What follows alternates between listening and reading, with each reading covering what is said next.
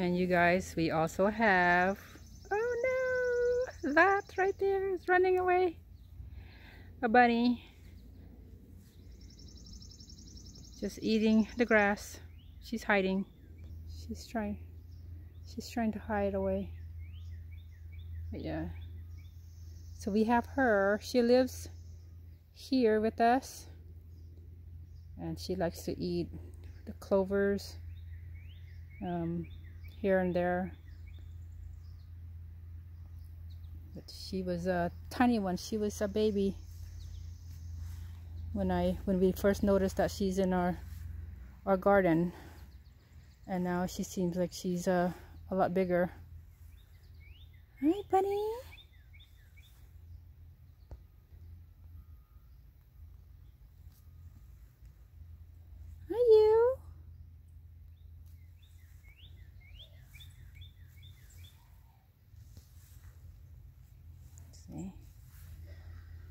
Just sitting right there.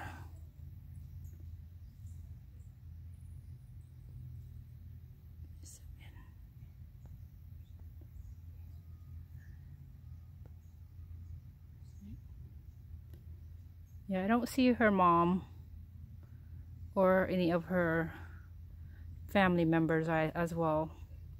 Only see her. I don't know what happened to her the rest of the family. But she lives under our shed. Now she's gonna live in that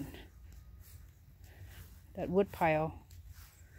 Hiding, hiding away, but I can still see you. Look it, I can still see you. You're in there. Anyhow, she's shy. I'm gonna leave her alone. She's a part of us now. okay, I'm gonna go back to the hubby, see what he's doing.